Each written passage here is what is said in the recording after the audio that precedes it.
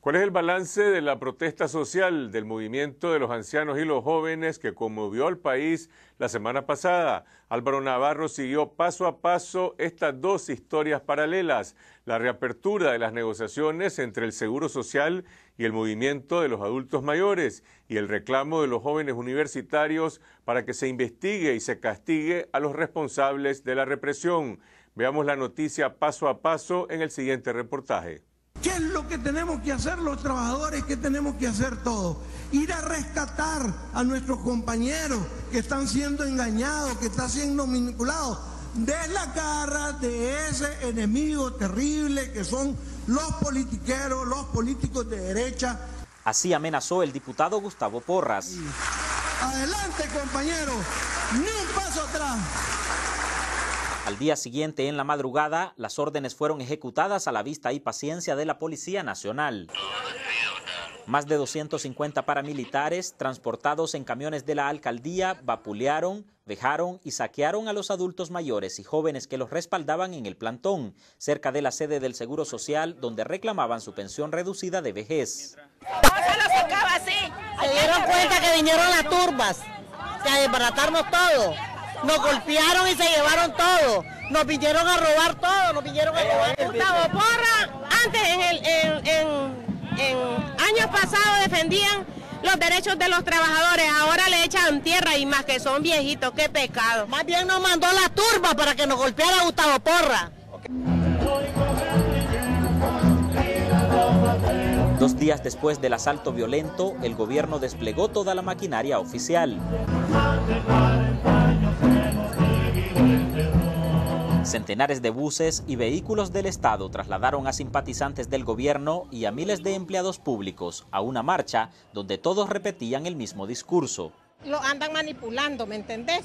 La, la, derecha los está manipulando, por eso ellos, y como ellos son ancianitos, pues... Andamos haciendo presencia para que los viejitos sepan que no están solos, pero al, a, a, al mismo tiempo estamos sensibilizándolos a ellos, pues de que el gobierno está buscando una solución para ellos. A poca distancia de la marcha oficialista, un grupo de adultos mayores se resistían a abandonar su protesta. Queremos la pensión ya. El cerco policial y las amenazas de grupos pro gobierno los relegaron a una esquina situada en la parte norte del edificio de Links. Ahí estaban dispuestos a dar la batalla. Lo que queremos es nuestra pensión. Nosotros nos permanecemos aquí porque la intención de nosotros es conseguir la pensión reducida. El gobierno nos quiere sacar echándonos todas las turbas, trabajadores y todo lo que es la alcaldía para que nosotros nos rindamos. Pero estamos propuestos que nosotros no le estamos pidiendo nada, estamos pidiendo lo que nuestro dinero que metimos al seguro, que Daniel lo ha agarrado para su gasto y su empresa. Estamos amenazados, estamos amenazados, sancionados y estamos amenazados todo el mundo. Por eso nosotros lo que queremos es evitar un choque, pues, porque van ahí pasaron como más de 50 motos por aquí. No le tenemos miedo. Ya comenzamos y vamos a terminar. Ocho días tenemos hoy. Lo que Gabriela Martínez no sabía es que a dos cuadras de su improvisado plantón, el gobierno le tenía preparada una sorpresa. El presidente de Links, Roberto López, y el sindicalista oficialista Gustavo Porras presentaron en la tarima del acto ante miles de sus seguidores a Porfirio García, el líder del movimiento de los ancianos, cuya protesta puso en jaque el populismo gubernamental. Vamos a seguir avanzando por la justicia social y la solidaridad de todos los nicaragüenses. Vamos a seguir apoyando las causas justas en contra de las manipulaciones de la derecha. La presencia de los líderes de los adultos mayores junto a los funcionarios del gobierno puso en evidencia la existencia de una negociación en curso, aunque en su discurso Porfirio García nunca renunció a la demanda de pensión reducida.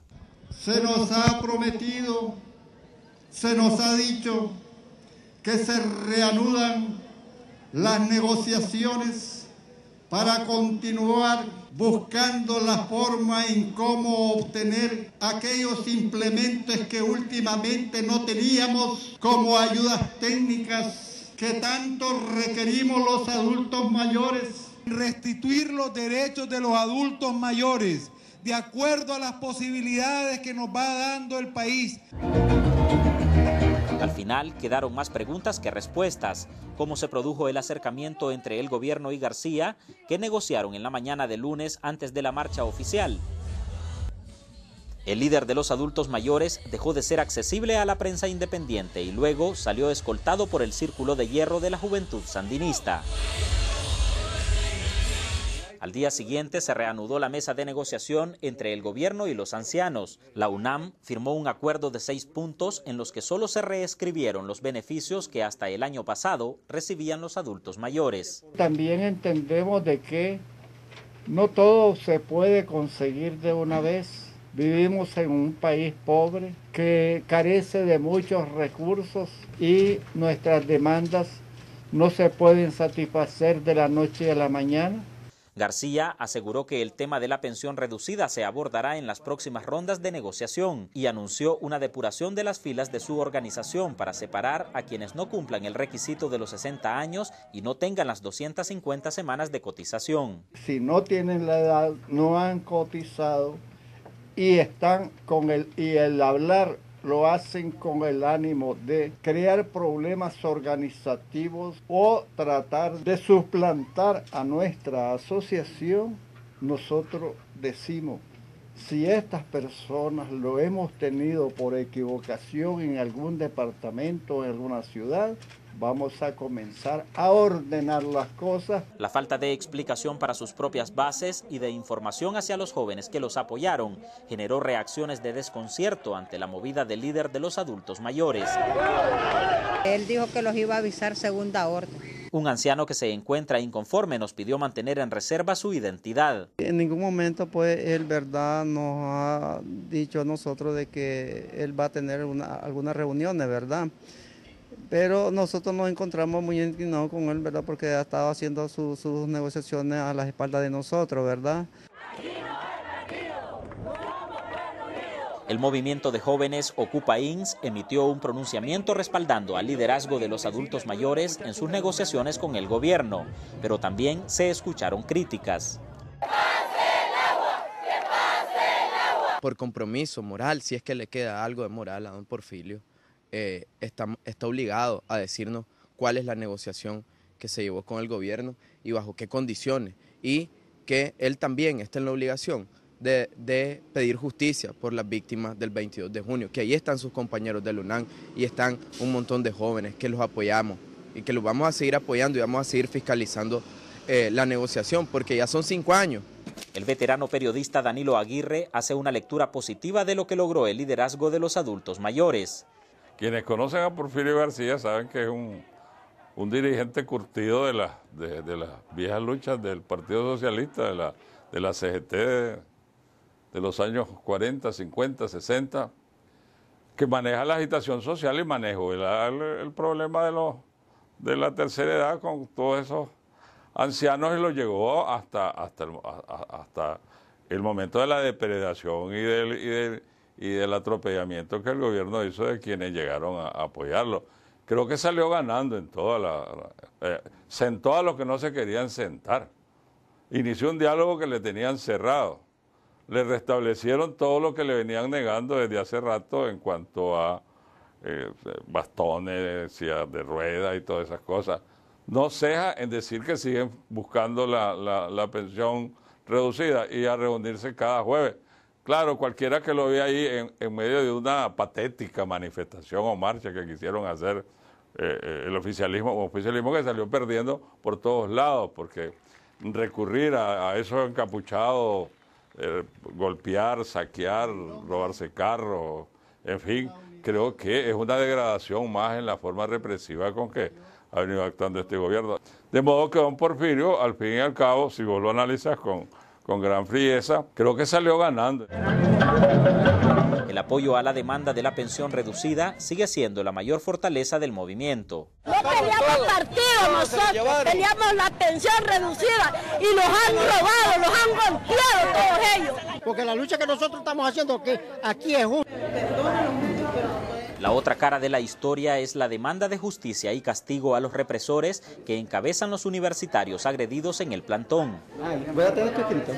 14 jóvenes solicitaron el acompañamiento del Centro Nicaragüense de Derechos Humanos para interponer denuncias formales por el ataque de la madrugada del 22 de junio.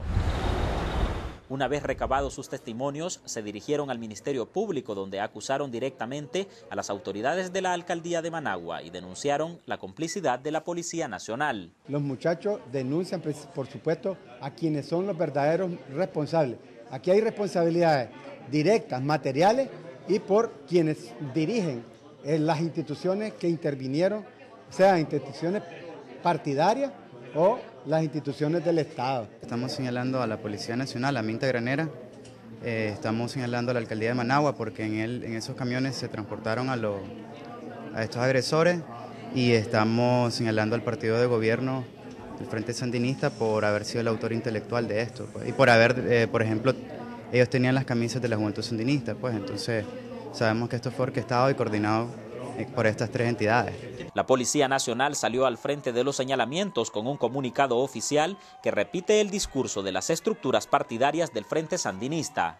Esta posición obedece a intereses oscuros y malintencionados que de forma perversa pretende desacreditar y deslegitimar la labor de la Policía Nacional de Nicaragua, presentando y manipulando a través de redes sociales y algunos medios de comunicación imágenes y videos de hechos que no ocurrieron en nuestro país y que tampoco fue realizado por nuestros agentes, lo que denunciamos y condenamos públicamente. Pero lo que la policía no vio, lo vivieron en carne propia los jóvenes agredidos. Nos persiguieron, nos golpearon, a las muchachas nos, nos amenazaron de violarnos nos torturaron psicológicamente. Y nos patearon y entonces yo me reflejé al lado de la policía buscando que defensa. Yo, yo no soy adulto mayor, mi esposo es un señor de 70 años. Y entonces ellos, el policía me agarró a patadas, así. Además de haber sido vapuleados y vejados, fueron víctimas de un asalto masivo. Los asaltantes se robaron siete vehículos, 37 billeteras, tres tabletas, 27 celulares y nueve cámaras digitales. Sin embargo, ya se han rescatado algunas imágenes que los jóvenes divulgaron este fin de semana a través de las redes sociales. Las cámaras de seguridad de un establecimiento muestran la tensión que se vivió después de las 4 y 23 de la madrugada del sábado a unas cuadras del plantón. Primero, se logran registrar al menos tres de los camiones de la alcaldía de Managua que transportaron a más de 250 paramilitares. Los videos muestran cuando los jóvenes universitarios son advertidos por un taxista de que sus compañeros y los ancianos están siendo agredidos. Intentan acercarse a la zona del plantón donde en ese momento se está desatando la violencia. Llegan los primeros heridos que logran escapar de los agresores, mientras decenas de jóvenes buscaban refugios en el vecindario.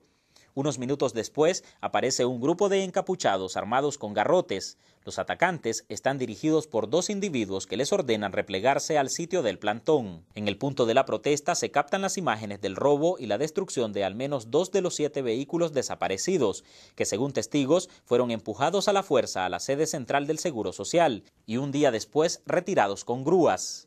A pesar de las amenazas y el temor de las represalias, los jóvenes denunciaron incluso los abusos de autoridad cometidos por oficiales de la Policía Nacional. El testimonio de Miguel Ibarra es contundente. Cuando yo iba corriendo desesperadamente por huir del, atroz, brutal y desarmado atraco que nos hicieron el día sábado en la madrugada, yo iba corriendo, paso por costado norte, arriba del cementerio de San Pedro, y le digo a los policías que estaba su honor, seguridad y servicios de la población, donde ellos me dijeron, corre o te, jodemos, chaval, hijo puta, me dice, la policía. Yo sigo corriendo, pero como iba descalzo, no podía correr muy bien. Ya en las inmediaciones de Telcor, cuando iba saliendo a la pista, miro que llega una, una camioneta Hilux gris, donde se bajan cuatro oficiales y me dicen, te alcanzamos y te jodimos, me dicen donde ellos me montan y posteriormente me llevan a auxilio judicial, donde en auxilio judicial le dicen que no, que me lleven a las 3, que ellos no estaban recepcionando a los chavalos, me llevan a las 3 y le dicen que no, que está muy lleno, que me trasladen a otra estación, que ahí donde me iban a atender. Me llevan a la 1, donde ahí me mantuvieron como a las 7 de la mañana, me sacan y, me, llegaron cuatro oficiales de auxilio judicial con sus chaquetines y me dicen, mira, queremos hablar con vos, queremos saber unas cosas, por la buena, me dice, no te queremos hacer daño, me dice. Eh, yo le dije que no sabía nada, que yo solo andaba apoyando porque la conciencia me lo permitía andar apoyando a los ancianos. Mira, me dice, vos sabes muchas cosas que nosotros queremos saber, me dice.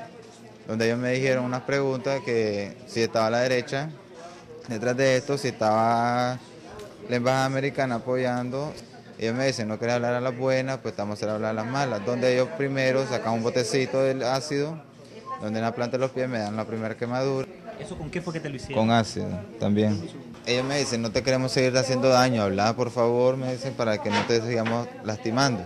Yo le digo, no sé nada, señor, le digo. Donde ellos comenzaron con las macanas a darme las costillas y a darme patadas en la espalda, que quedando los golpes todavía visibles. Después ellos me dicen, mira, me dice, habla por las buenas, me dicen. Le digo, no sé nada, le digo. Después comenzaron ya a agarrarme otra vez a patada y después que ellos me hicieron la agresión más grande. ¿Y eso con qué fue? Con ácido. ¿Eso también fue con ácido? Sí, con ácido. Okay. ¿Esto fue en la estación 1? En la estación 1. ¿Y sus chaquetines los identificaban? Sí, decían atrás auxilio judicial. Uno de ellos le dice, mira, dejémoslo de este chaval que no sabe ni mierda.